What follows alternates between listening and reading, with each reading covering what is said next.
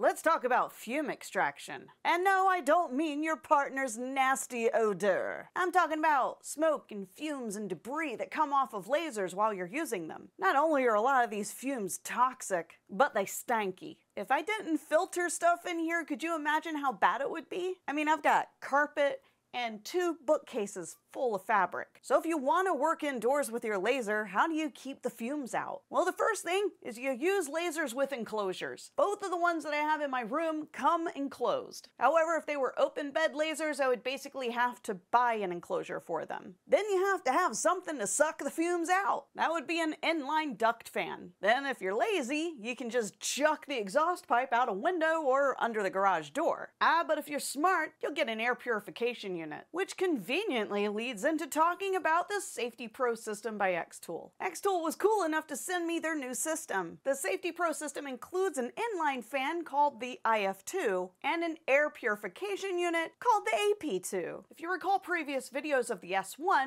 had actually purchased the old system. Those older, more common units that you'll find out there today pretty much only have three filters in them, which isn't bad until you consider the fact that Xtool somehow figured out a way to slam six filters into that thing over there. So I already had everything set up in my room and I just didn't want to crouch onto the floor and try to give you this presentation. Worst angle ever. So instead I decided to unplug this and bring it over. So this is the IF2 inline duct fan. It is six times smaller than your standard inline duct fan, but it has three times the suction power. Giggity. That's enough suction to make President Skroob jealous. It comes with a Bluetooth dongle that you can basically plug into the back of your Xtool laser if you want to be able to control it from within their software. It's not a requirement though. Right here on the power cord is the controller. Most of the time I'm gonna have this in auto, but it comes with four layers of suction. So one exhaust pipe goes from the back of the machine, specifically my S1, into the fan,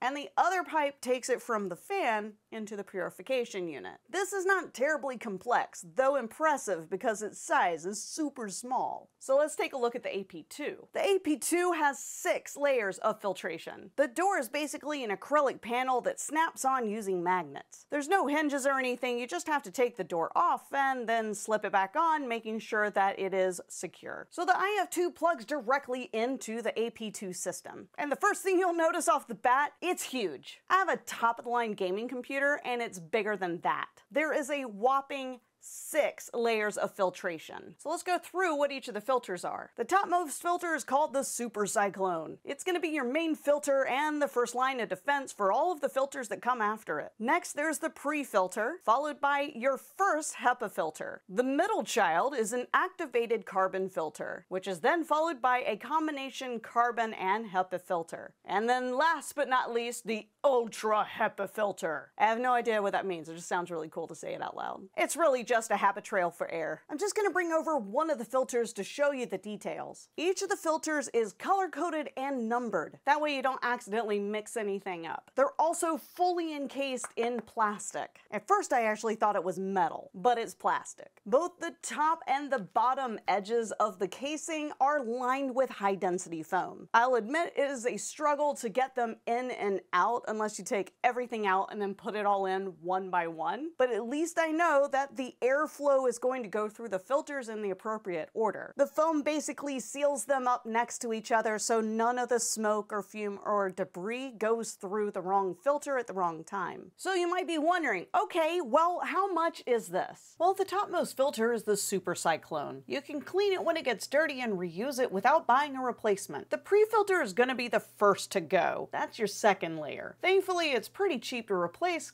costing less than 20 bucks. The remaining filters cost between 30 and $50, the most expensive being the activated carbon filter in the center. If you keep the Super Cyclone clean and replace the pre-filter as needed, the remaining filters shouldn't need to be changed often unless you're setting fires with your laser. Please don't do that. As an added bonus, you can also wash them out and reuse them. Just know that at some point they are going to wear out and you're going to have to replace them in total. The benefit of this being six layers of filtration instead of just the three is that you can replace them as needed. Thanks to the Bluetooth dongle, you can basically plug it into the back of any of your Xtool lasers and just monitor the status from their software. Early test data from Xtool suggests that these will last up to 21 hours monthly. That's 21 hours of continuous use. That's a lot of hours. Unless you're running some huge production shop, it's gonna last a while for you. So why don't I put this back in and I'll do a little demonstration. Now I'm gonna pan the view over to the right to avoid the light flickering and to highlight the smoke billowing out. Notice how it's being drawn to the back? That's thanks to the built-in fan and the added suction power of the IF2. Noise levels were definitely higher when running the Safety Pro system,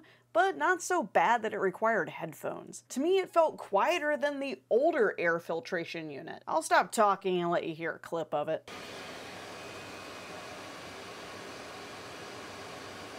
Okay, I might admit that I basically nuked it from orbit, but that was to generate an extreme amount of smoke just to test the system and see how everything was gonna shake out. There you go, just close up so you can see how horrible it looks. The cut's nice and clean though. Apart from smelling this, because I basically burned the mess out of it, I can't smell anything else in my room. They kinda have to take my word for it, since this isn't exactly smell-o-vision. But of course, to be safe and thorough for this review, I was monitoring the quality of air in my room using this air quality device. At no point did it peak while the machine was running. I did smell some of the burned wood, however, it wasn't super strong and it went away pretty fast so nothing was lingering after the cut finished. I accredit that to the fact that I had the software keep the fan going for 10 additional seconds once it finished the design. So who is this Safety Pro system for anyway? Well, first off, if you're trying to do anything indoors and don't have access to a window or other filtration systems,